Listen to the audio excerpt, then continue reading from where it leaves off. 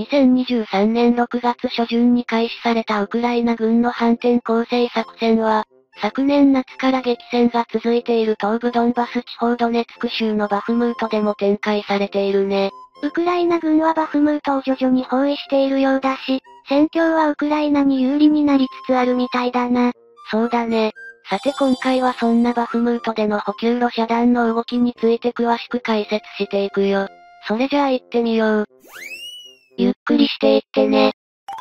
このドネツク州内の交通の要衝である都市には昨年から、ロシア正規軍ではなくロシアの民間軍事会社、ワグネルの戦闘部隊が中心となって攻め寄せており、守備していたウクライナ軍は粘り強く守っていたものの、ワグネルがロシア国内の刑務所で募集して編成した囚人部隊を肉の盾とする、犠牲を厭わずなりふり構わない猛攻によって、次第に市街地から西方に後退させられていたのであるが、その後ワグネル戦闘部隊が撤退してロシア正規軍に入れ替わるも、正規軍はここまでにベテランの士官や兵士を多数失い、予備役動員兵などが中心の部隊が中心であったとみられ、ウクライナ軍が次第に盛り返しつつあったんだ。そこへ南部ザポリージャ州方面を中心とした反転攻勢作戦が始まったため、それに呼応する形で、バフムートでもウクライナ軍が市街地近郊の南部と北部でじりじりと攻勢に出ていて、特に南部ではクリシェーフカ方面にて、ウクライナ軍の攻勢が強くかなり優勢となっており、クリシェーフカの南にあるアンドリーフカやクルジュミフカなどにも、ウクライナ軍部隊が進撃していて、クリシェーフカの集落にウクライナ軍が到達したことが伝えられて、すぐさま占領したとの情報があり、バフムートの南部近郊地域では、ウクライナ軍が戦線のイニシアティブを握っていると見られていたってわけ。ここまでのバフムートをめぐる戦闘の中で、ウクライナ軍にも相当の損害が生じていたのであるが、攻撃側のロシア軍の損害はその日ではないとされ、何千、何万ものワグネル戦闘員や正規のロシア軍兵士、新ロシア派武装勢力のメンバーがこの廃墟と化した街で命を落としたとされているが、それはバフムートに展開していたウクライナ軍の防衛部隊は戦いながらゆっくりと後退することで、バフムート攻略にこだわるロシア軍をこの地に引きつけて可能な限りの損害を与えて、損耗させていたためであったぜ。バフムートはドネツク州内で実際に周辺各都市につながる幹線道路が交差し、鉄道路線においても要衝であったことに間違いはないのであるが、長期間にわたるロシア軍の攻撃によって、市街地はほぼ廃墟と化し、たとえロシア軍が占領したとしても軍事拠点としての価値をほとんど失っていたことから、街を死守しようとするウクライナ軍に対して西側諸国の軍事筋も、損害を抑えるために撤退して放棄すべしとの見方が主体となっていたな。しかしウクライナ側は、バフムートを死守することが国民に対してロシア軍への抵抗を示す象徴となっている現状を、見過ごすことはできず、また、この地に執着するロシア軍を廃墟となった町に引き入れて殲滅するように攻撃を加えて、ロシア軍をすり減らすことを重視したため、西側諸国からの提言を聞き入れず、市街地からは撤退したものの、その近郊に踏みとどまって戦闘を続けていたってわけだ。うんうん。そして、ドネツク州南部とザポリージャ州で反転攻勢が開始された6月初旬、それに呼応するようにして、ウクライナ陸軍の第3及び第5強襲旅団と第22及び第28機械化旅団などバフムート近郊に配備されていた部隊は、バフムート市街地のすぐ南にある野原と樹林帯を越えて攻勢をかけたんだ。そのうち第3強襲旅団は6月下旬に、ロシア軍正規軍の第57自動車化狙撃旅団に対して攻撃を仕掛け、ロシア軍にとって重要な防御陣地の一つであるドネツドンバス運河を越えてさらに東に後退させたみたい。そして、第5強襲旅団と第22機械化旅団はクリシェーフカ攻略に重要な地点である西側の高地へと進軍したが、この動きについてロシア軍に従軍していたとみられるロシア人ブロガーが、ウクライナ軍はクリシェーフカに隣接する高台を占拠して、歩兵携帯式対戦車ミサイルシステムや、狙撃兵グループなどを組織して周辺に配備しその地点からさらにバフムート市街地に向けて前進する歩兵らを支援していた。と戦況を自身のブログに報告し、さらに、激しい戦闘が数日続いており、ウクライナ軍の偵察ドローンと自爆攻撃型ドローンがこの局面に重要な影響を及ぼしている。とも書き込み、航空優勢を得られていないウクライナ軍が近接戦闘においてはドローンを多用してそれを補おうとしていることを明らかにしたよ。しかし、ウクライナ軍のドローンによる偵察や攻撃はこの反転攻勢では正直なところあまり機能しているとは言えず、その理由としてウクライナ軍のドローンを操縦する電波を拡乱させることが可能なロシア軍の電子戦能力が一因であるとのとの見方をウクライナ軍当局者が示しているぜ。このことについてはウクライナ空軍のイフナと報道担当者がその理由について述べていて、ロシア軍においては電子戦の研究がより進んでおり、ウクライナ軍に対して優勢であることを認めていて、残念なことだが、この分野において占領者であるロシア軍は我々よりもかなり進んでいると指摘しているな。これはウクライナのテレビ番組における発言で、ドローンについては飛翔してくるそれをいちいち対空ミサイルや対空砲で撃墜する必要はなく、電子戦によって妨害電波を発信して墜落させたりするほか、欺瞞電波によって制御を乗っ取って目標に突撃させずに楽々と着陸させて奪い取ることが可能だと述べたぜ。そしてさらに、ロシア軍では現在、ウクライナ軍部隊のドローンを用いた作戦を阻害する強力な電子戦システムを、十分なほど保有していて、ウクライナも電子戦では進歩している方であるものの、取り組み始めるのが遅く、もっとより早く開発に着手すべきだったと反省の弁を語ったんだ。この侵略戦争が始まって以来、トルコ製ドローンのバイラクタル TB2 などで大きな戦果を上げているウクライナ軍であるが、その対策としての電子戦においてはロシア軍に一歩遅れをとっていることは明らかで、そのことへの対応が必要となったことが、反転攻勢作戦の進捗を遅らせている理由の一つであると見られているね。その一方で、第3強襲旅団と第28機械化旅団は、さらに数キロメートル南のアンドリーウカに向かって進軍していて、ウクライナ軍参謀本部のアンドリー・コバロフ報道官は7月25日に、アンドリーウカにいたロシア軍が撤退していると主張したぜ。そしてその間、第57自動車化旅団はバフムート市街地の北側からバフムート市内に入る幹線道路の確保を目指して前進していたな。この結果としてウクライナ軍は未だバフムート市街地を占拠しているロシア軍に対する包囲網を少しずつ狭めており、その南側においては同市につながる幹線道路の一本を寸断しており、さらに数キロメートル東にもう一本の大きな道路を目指しているというぜ。バフムートでは南戦線とは違いこれまでのところ、西側諸国からの新型の戦車や装甲戦闘車両によって、新たに編成された機械化旅団は投入されていない様子で、守備に当たっていた部隊が増援を受けて、攻勢に出ていると見られているんだけど、強力だったワグネルの戦闘部隊が、ロシア正規軍と交代してからはこれまでの姿勢から攻勢に転じているね。その状況から考えれば、バフムートにおける反転攻勢は、ここから大きく西に進軍することよりもこの周辺のロシア軍部隊を、南部戦線に行かせないように釘付けにするだけでなく、さらに攻勢に出ることで予備兵力をも呼び寄せて、それらを南部戦線に移動させることなく消耗させることがその使命ではないかと見られているってわけ。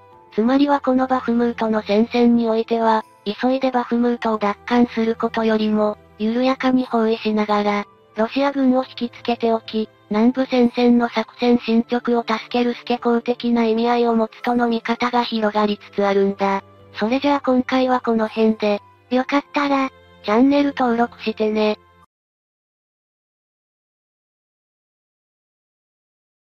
ウクライナ軍が反転攻勢を仕掛けている戦線の一つ、ウクライナ東部ドンバス地方のドネツク州南部を流れるモクリアリー川沿いの戦闘について、みんなは知っているかな？ここでは、スタロムリニフカの北にあるウロジャイネをめぐる攻防戦が激しくなっていることが伝わっているな。そうだね。さて今回はこのドネツク州南部でのウクライナ軍の進軍状況について、詳しく解説していくよ。それじゃあ行ってみよう。ゆっくりしていってね。8月12日にスタロムリニフカ方面のロシア軍に従軍しているとみられる軍事特派員が、ウロジャイネをめぐって激しい戦いが続いているとして、ウクライナ軍は小編成の部隊を最前線で活動させてロシア軍砲兵部隊による反撃を誘い出し、その位置を特定した上で叩き本体を我が軍の陣地に送り込んでいるとウクライナ軍のこの地域における戦術を報告したよ。そしてこの特派員はさらに、このウクライナ軍が実施している戦術は、砲兵部隊が自由に攻撃できるように優勢を保っている場合のみ可能なもので、我が軍がこの状況を打開できなければウロジャイネを失うかもしれないと指摘して、モクリアリー川沿いの戦い全般においてロシア軍は不利な状況に置かれているとして戦線が破られる可能性を示唆したんだ。さらに12日の夜にもこの特派員からの報告があり、ウロジャイネはウクライナ軍によって奪還されつつあって状況は極めて我が軍に不利だとして、敵はウロジャイネ集落内にある村役場にウクライナ国旗を掲げようとしたものの、我が軍砲兵部隊から砲撃を受けて撤退したとしながらも、ここまでウクライナ軍の攻撃に耐えていたのに関わらず、ここに来てウロジャイネ集落を失うのは痛恨の極みであり、我が軍が敵を押し戻すことに期待しつつも、この苦しい戦況を現実的に受け止める必要があると述べていることから、ウロジャイネが解放寸前の状況にあるのはほぼ間違いと見られているってわけ。インターネットや SNS に上げられている動画や画像などの視覚的に確認できる情報によれば、ウロジャイネの集落の中心部をウクライナ軍の戦車などの装甲戦闘車両が走行していることが確認されているしな。その他にも、ウクライナとの戦争にロシア側として参戦しているルシッチ、ドネツク州の親ロシア極右主義者で構成された破壊工作や攻撃偵察を実施している集団が13日、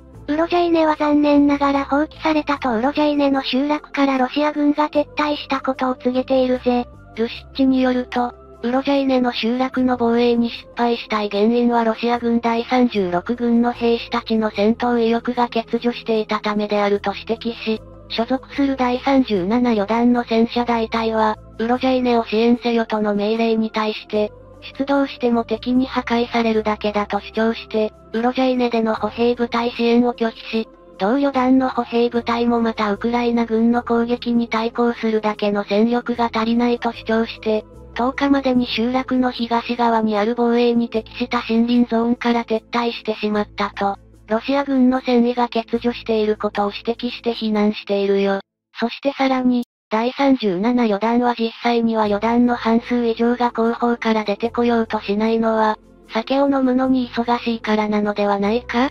と皮肉を交えながら報告しているんだ。また、さらにロシア側からの情報発信が続いていて、13日にはウクライナ海軍歩兵部隊の第35旅団と第37旅団が同陸軍の第55砲兵旅団と第1戦車旅団の支援を受けながらウロジャイネの北部に陣地を築いたとしながらも、一部のロシア側情報からウロジャイネからロシア軍が撤退したとの報告が伝えられているが、我が軍は依然としてウロジャイネの南部分を維持しているとした上で、ウクライナ軍司令部が、ウロジャイネの完全支配を確立せよとの命令を現地部隊に発しているとして、今後このウロジャイネ集落をめぐる戦いが激しくなっていく可能性が高いと主張したぜ。このロシア側からの情報が示唆している現在の最前線の位置は、ウロジャイネの東側で抵抗を続けていて突出部となっていたロシア軍部隊が交代し、集落内でも両軍が入り乱れているグレーゾーンになったとして、ウロジャイネ集落をロシア軍が支配できていないことを示しており、動画や画像などの視覚的情報からもウロジャイネの中心部付近でウクライナ軍の戦車が、ロシア軍に向けて発砲する様子が見られたほか、集落の真ん中を北から南に貫いている大通りでウクライナ軍の装甲車両が進軍している様子や、集落の東側にあるとされるロシア軍陣地に対して、ドローンから爆弾を投下して攻撃している様子のほか、アメリカから供与されたクラスター砲弾によって、ウロジャイネの南にあるザビトネバジャンニャからウロジャイネに向かって、徒歩で移動しようとした小隊規模のロシア軍兵士を攻撃する様子なども確認されているな。ここで注目すべきは、これらの情報がいずれもロシア側から発信されたものであり、ロシア軍がドネツク州南部からアゾフ海にある港湾都市マリウポリに通じる、モクリアリー川沿いの戦線において押されており、ウロジャイネがもう間もなくウクライナ軍によって奪還される可能性が高いとされていることだろうね。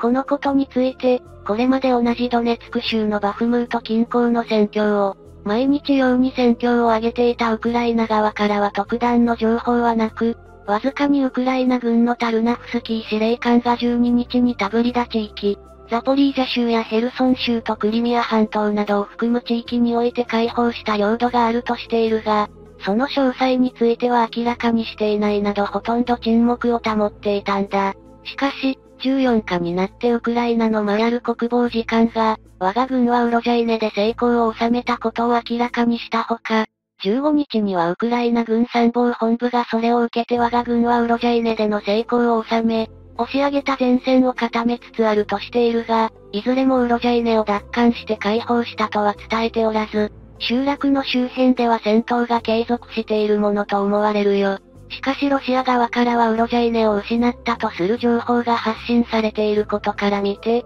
ウロジャイネがウクライナ軍の勢力下にあることはほぼ間違いないとの見方が広がっているんだ。先出しのロシア人軍事特派員が14日に、我が軍はウロジャイネでの敗北を急いで認めなければならない理由は全くなく、現地司令部では現在のこの複雑な状況を打開する手段を講じている最中であると述べ、現在のウロジャイネ周辺の地域の空はドローンや砲弾、それらによる爆発で発生した煙で覆われており、互いに少しの休息を取った後に再び激しい戦いが再開されるだろうとしていたが、15日には両軍とも持てる全てを昨日の戦いに投入したために、現在は束の間の静寂が生まれていると改めて戦闘が小康状態になっていることを伝えた上で、我々はウロジャイネをウクライナ軍に譲ったが、敵がウロジャイネを占領するために投入した戦力の大部分を粉砕して消耗させたと主張して、ウロジャイネがウクライナ軍によって奪還されたことを認めつつも、ウクライナ軍に多大な損失を強いたことを強調しているぜ。このロシアの特派員の報告には動画や画像などの視覚的な証拠がなく、ウクライナ軍にどれほどの損失を与えたかの確証はないが、ウロジャイネの集落からロシア軍が撤退してウクライナ軍が奪還している状況を認めていることが西側の関心を集めているな。また、一度はウロジャイネから撤退したロシア軍は、体制を整えて攻勢に出る準備をしているのではないかとの見方も出ているが、これまでのこのようなケースでのロシア軍の動きを見てきた限りではその可能性は低いとする声が多いみたい。ドネツク州南部での前進は反転攻勢が開始されて以降、ウクライナ軍は強固な防御陣地にこもるロシア軍の抵抗を排除しつつ、高密度に設置された地雷原を処理しながら父とした歩みを見せているが、やがて訪れる二度目の冬までに、どれほどの国土を奪還できるかが注目されているね。それじゃあ今回はこの辺で、よかったら、チャンネル登録してね。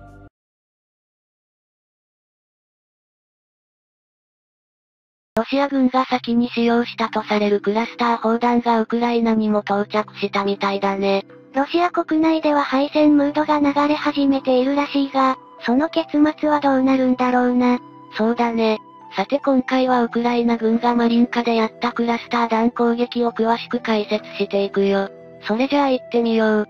ゆっくりしていってね。2023年7月20日のアメリカのワシントンポスト紙において、ウクライナ軍の反転攻勢作戦の大きな障害となっているロシア軍の強固な防御陣地を無力化するために、ウクライナ軍はザポリージャ州などの南東地域においてアメリカから提供されたクラスター砲弾の使用を開始したと報じたよ。その中でウクライナ当局者はあくまでもロシア軍の残壕を破壊するために使ったものであるが、この先、東部バフムート周辺でも使用される見通しであると主張したようだね。ウクライナ陸軍のタルナフスキー准将が先月の13日時点ではまだクラスター砲弾を受け取ったばかりで使用していないが、戦況を根本的に変えることができると語っていたほか、シルスキー陸軍司令官も、アメリカから供与されたクラスター砲弾は数日以内に使用できるだろうと言及していたんだ。また、アメリカ国家安全保障会議 NSC のカービー戦略広報調整官が7月20日の記者会見で、ウクライナ軍がクラスター砲弾の使用を開始したと明らかにしており、軍事関連ブログなどではドネツク市の西にあるマリンカ付近の戦線で、アメリカから供与されたクラスター砲弾が使用された視覚的な証拠があると記されているぜ。さらにカービー戦略広報調整官は、ウクライナ軍からクラスター砲弾を使用したとの報告があったことを明らかにした上で、ウクライナ軍は非常に効果的、かつ適切にクラスター砲弾を使用していると説明したな。ウクライナ政府は都市部に対するクラスター砲撃はしないとして、民間人への被害リスクを最小限にすることをアメリカ政府に対して制約文章化はしているね。クラスター弾とは収束爆弾とも呼ばれており、収納容器となる大型の弾体の中に数百個の小弾が入れられている親子弾のことを指し、目標付近で親弾体から広い範囲に小弾が散布されて、その範囲内において無差別に物を破壊しつつ人間も同時に殺傷するものなんだ。小弾とは小型の爆発物のことを指し、それ一つで鉄筋コンクリート製のビルや統治下のような強固な建造物に対する破壊力は低いものの、一度の使用で広範囲に小弾を散布できるため、単弾頭の爆弾や砲弾で攻撃するよりも広い範囲に被害を与えることが期待され、面を制圧する際にとても有用な兵器ってわけ。一部のマスコミや軍事専門家などの間で、クラスター弾は遮蔽物のない開活した地域において兵士を殺傷するくらいしか使いようがないので、ウクライナ軍の反転攻勢のサポートにはならないのではないか？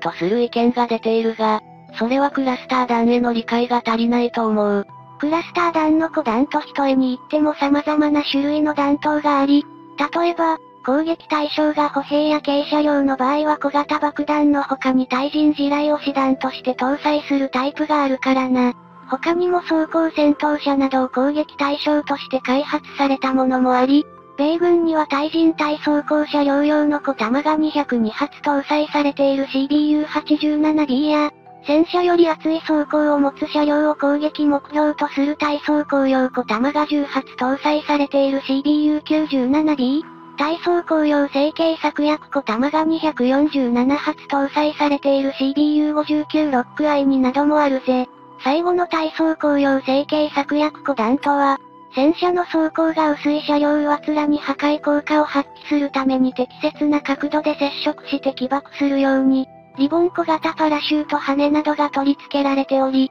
目標に対して弾頭を垂直に保ちながら落下するよう設計されているな。このようにクラスター弾は、対人兵器としてのものだけでなく装甲車両への攻撃や、使い方によっては残壕に潜む兵士を陣地ごと破壊して殺傷できるものもあり、通常の爆弾や砲弾などと比べて重量に対する制圧面積が広いことからも、総合的に費用対効果が優れていて、かつ地上部隊に対して短時間で面的制圧を実施するにはとても有効な兵器だね。しかし、対戦車用の成形策薬弾型などは、指向性が強い小弾で弾頭部が下を向くよう小型パラシュートなどで落下姿勢を維持すると説明したが、これが原因で落下速度が弱まって接触しても新艦に十分な衝撃が加わらずに不発弾となってしまう場合や、あるいはパラシュートの紐が木や建物に引っかかって不発となる場合もあり、対装甲車両地雷や対人地雷の場合は爆発するまで生き続けるため、戦闘後も民間人を殺傷する兵器として非難されるんだ。五弾の種類や性質運用状況によっても不発弾の発生率は40%近くにまで達することがあり、今回ロシア軍が使用したクラスター弾の不発率は30%から40%にも上るとされた一方で、ウクライナ軍が使用した旧ソ連製クラスター弾の不発個弾もウクライナ国土に多く残されているだろうと考えられているよ。そして、アメリカがウクライナに提供したクラスター弾の子弾の不発率は2.35%以下に抑えられているらしいが、それでもウクライナ軍がたくさんのクラスター弾を発射することで、不発子弾がロシア国土にも残されるに違いないよね。戦後も民間人に危害を加える可能性が高いクラスター弾に対して、2006年にベルギーがクラスター爆弾を禁止する法を制定すると、2007年にはクラスター爆弾禁止に関する国際会議がノルウェーの呼びかけによって首都オスロで開催され、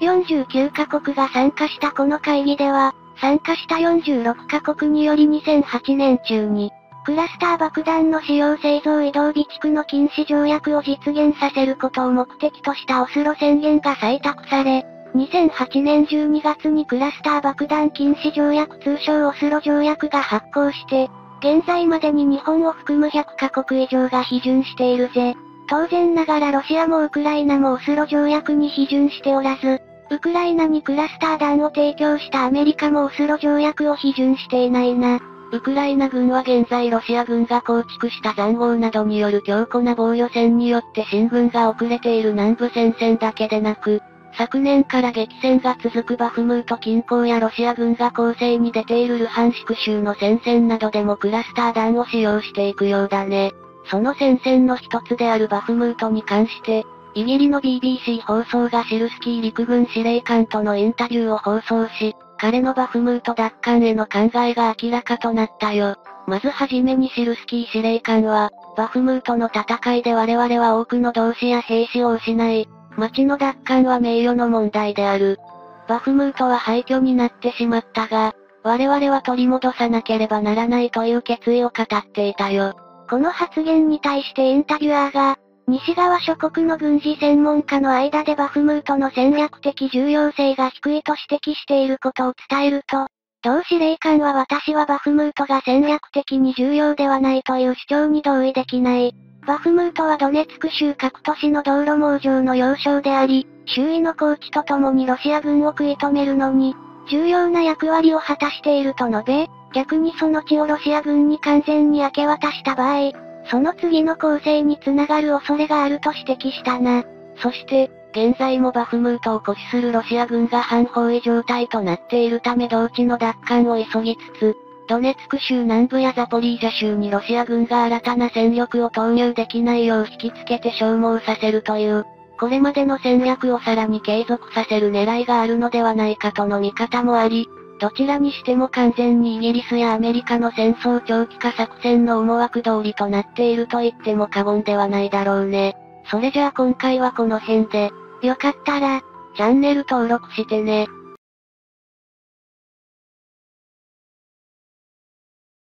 2023年8月24日、ウクライナ国防省情報総局 GUR のユーソフ報道官が、2014年にロシアの軍事介入によって不当に併合され実行支配されているクリミア半島において言及していたね。ユーソフ報道官は特別作戦の一環としてクリミア半島への特殊部隊による上陸作戦が行われたと発表していたな。そうだね。さて今回はそんなウクライナ軍特殊部隊がクリミア半島に上陸した件について詳しく解説していくよ。それじゃあ行ってみよう。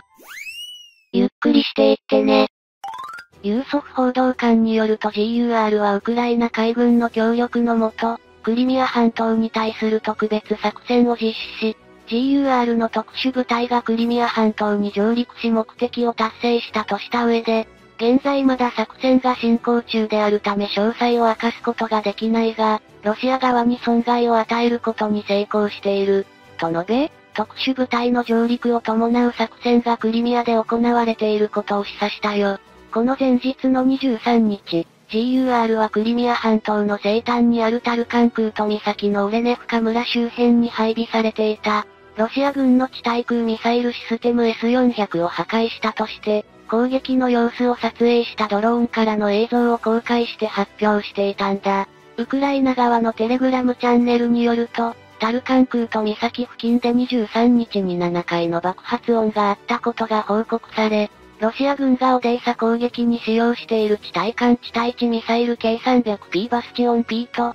低空及び超低空域の目標を検出して追尾しながら S300 や S400 などの地対空ミサイルに、目標データを提供する高性能レーダー 48A6K1 が破壊されたとする情報が出ていて、マリウポリ市長の顧問であるアンドリュシチェンコ氏もクリミア半島に配備されていたバスチオンが破壊されたと言及しているね。K300P バスチオン P はロシアがベラルーシと共同開発した沿岸防衛用の地対艦ミサイルシステムで、ユニット編成は、指揮者撃艦制車両 KAMAZ4 万3101が1内し2両、支援車両1両、ランチャー車両 MZKT7934 両に、弾薬運搬再装填車両4両が標準的なスタイルとされているぜ。23日の時点ではウクライナ軍がタルカン空と岬をどうやって攻撃したかについては不明だったが、ロシア側からはタルカン空と岬への攻撃は対艦ミサイルによるものであるとする情報が上がっていたよ。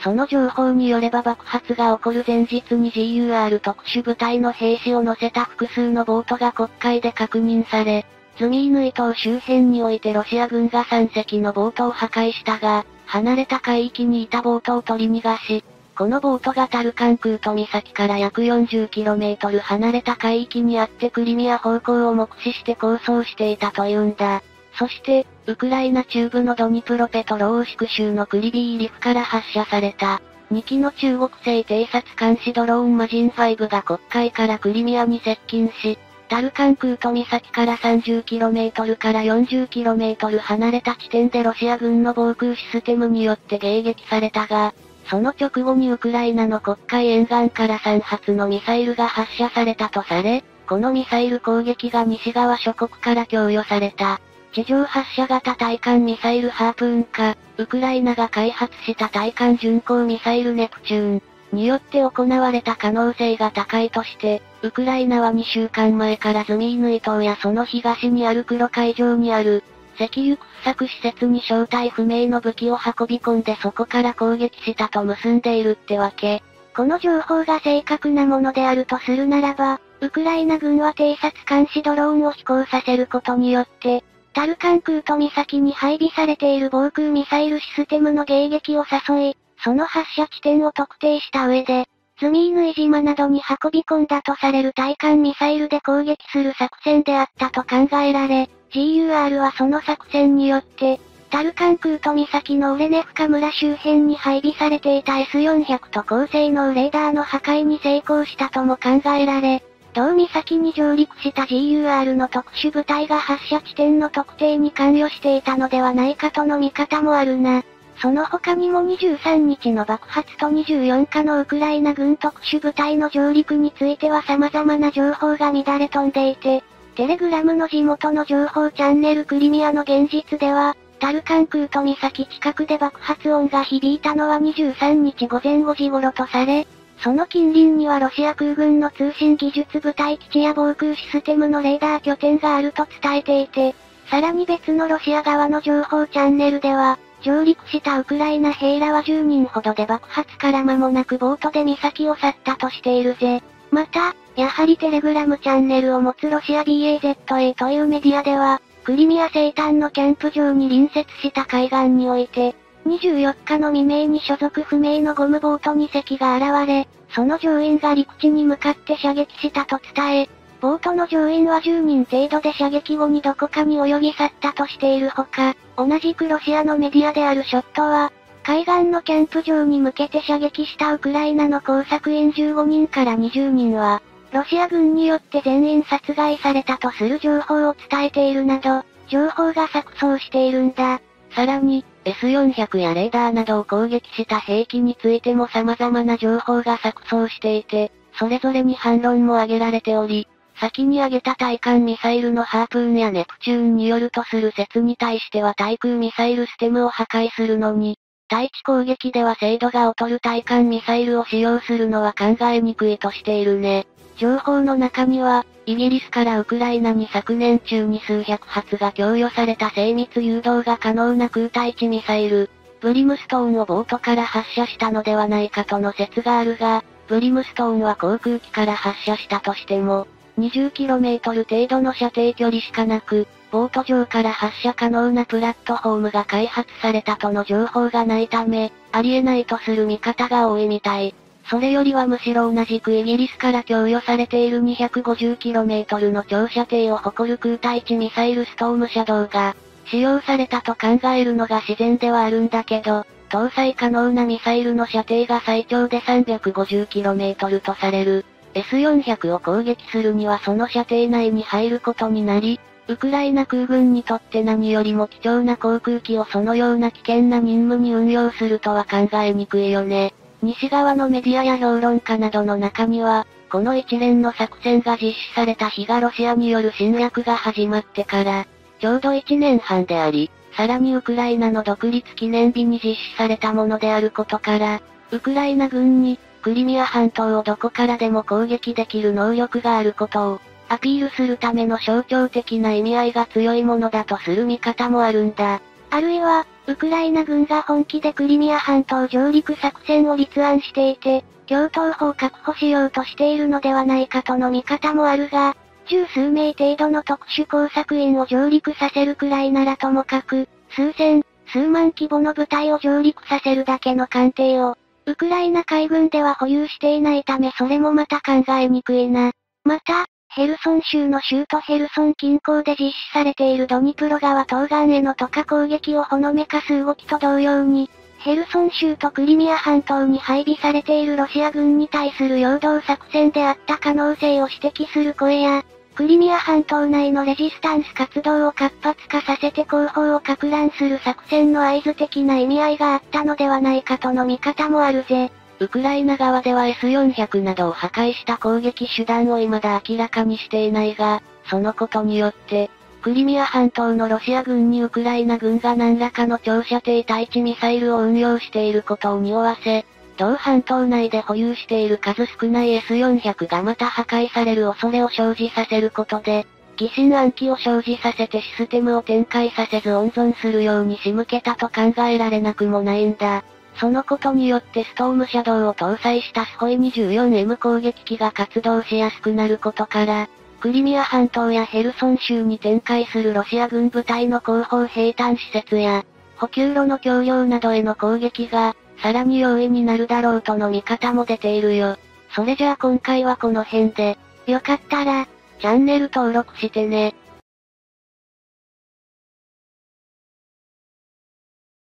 クリミア大橋へのウクライナ軍の攻撃が激化する中、ドネツク州南部のウロジャイネでロシア軍をついに撤退させたとの情報を入手したよ。ロシア本土でも爆発やドローン攻撃など激増しているし、ロシア人自体が海外へ出国しているからな。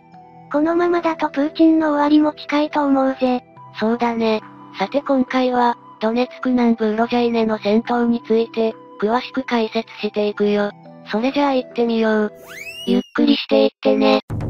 ウクライナ軍が反転攻勢を仕掛けている戦線の一つ、ウクライナ東部ドンバス地方のドネツク州南部を流れるモクリアリー川沿いの戦闘では、スタロムリニフカの北にあるウロジャイネをめぐる攻防戦が激しくなっていることが伝わっているね。8月12日にスタロムリニフカ方面のロシア軍に従軍しているとみられる軍事特派員が、ウロジャイネをめぐって激しい戦いが続いているとして、ウクライナ軍は小編成の部隊を最前線で活動させてロシア軍砲兵部隊による反撃を誘い出し、その位置を特定した上で叩き本体を我が軍の陣地に送り込んでいると、ウクライナ軍のこの地域における戦術を報告したんだ。そしてこの特派員はさらに、このウクライナ軍が実施している戦術は、砲兵部隊が自由に攻撃できるように優勢を保っている場合のみ可能なもので、我が軍がこの状況を打開できなければウロジャイネを失うかもしれないと指摘して、